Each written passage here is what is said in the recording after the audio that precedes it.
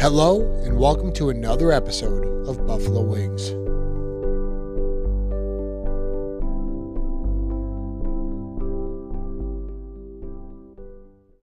Today we are trying a place called The Grill on Erie.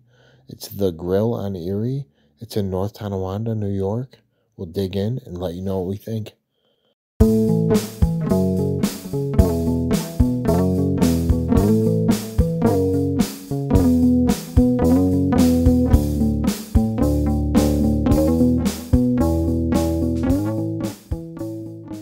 After having a few of these wings, I gotta say, um, they had everything right. Everything was perfect. Everything was going right until it got to the sauce. And it's just, it seems like a lot of places really, that is their downside.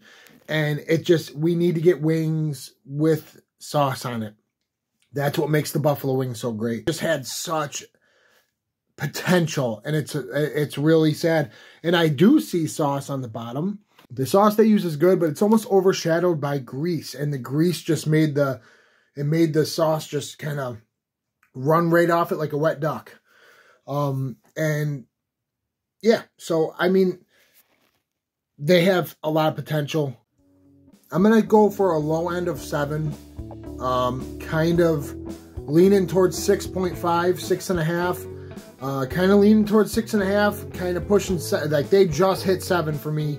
Um, just because the wings were so good and they had, they were very fresh wings. They have a crisp to them, which usually not a lot of wings have a lot of crisp to them.